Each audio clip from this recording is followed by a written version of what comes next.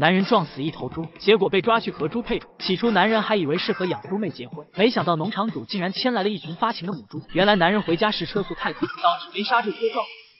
愧疚的他没有逃跑，而是找到了农场。没想到养猪妹没有让他赔钱，反而给他倒了杯酒。此时男人也没想太多，一口就喝光了所有的酒。结果再次睁眼，发现自己被扒光，锁在了猪圈。这时养猪妹提了两桶猪饲料，说是男人的晚餐。男人很是不解。一旁的农场主告诉男人，因为他撞死了他们农场的种猪，所以以后他就要代替种猪，帮自己农场繁衍后代，能生下一头猪就放他走。男人当然不干，一脚就踹翻了饲料桶。农场主见状，提起棍子就捅他了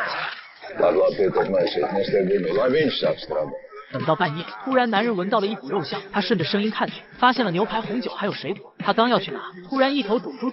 他当着男人的面吃光了所有食物。原来农场为了给种猪补充营养，所以喂的食物都非常高端，这让男人有些动摇。为了吃肉，他决定成为种猪。但刚做好决定，突然隔壁农场的儿子来到了猪圈，他直接弄开了阿伟身上的铁链，并且让他赶紧逃跑。虽然阿伟不知道发生了什么，但一想到不用配种就立马跑了。结果这时养猪妹刚好就在刷牙，正好撞见了逃跑的阿伟，于是直接就追了上去。但突然隔壁儿子一把抱住了养猪妹，原来他早就喜欢养猪妹多年，今天他打算强行要了养猪妹，然后嫁祸到阿伟头上。而此时阿伟伟还在一路狂奔，但突然他听到了森林里的狼嚎，终于他意识到了不对劲。此时养猪妹已经被隔壁儿子按到了身下，阿伟见状立马冲了过去制服了隔壁儿子。最后因为阿伟救驾有功，养猪妹赐了他一条裤子和正常的食物，并且提拔他当猪圈副总，让他每天照顾老婆们的衣食起居。等三天后让他自己选一头配种。这时男人已经认命，只想赶紧生个猪仔，然后让农场主放他走。虽然他会有一个难忘的黑历史，但猪妹又不会说话，反正也没人知道。结果一天他休息时，突然母猪说话了。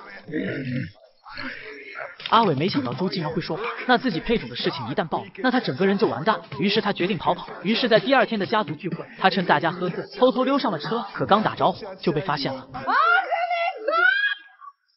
他又被拉回去暴揍了一顿。明天就是他配种的日子，农场主也给他拉了一批发情的小母猪。为了让母猪接受阿伟，农场主给了他们独自去深山相处的机会。阿伟抓住机会，到深山后就开始给母猪洗脑，说让他们一定要配合自己，否则以后长大就会被做成猪肉炖锅包肉、红烧肉、烤猪蹄，想活命就要听他的。结果没有一头猪听他的话，但一头小母猪除外。她是阿伟的小媳妇，虽然是头猪，但却对阿伟暗生情愫。等回到农场后，他就为阿伟偷来了一个老虎头。阿伟抓住机会剪断了铁链，然后招呼媳妇们一起偷偷上了货车。等车开远后，他让小媳妇们在车里乱晃，没一会车就发了。阿伟也趁势逃跑，结果没一会就掉到了农场里的现场。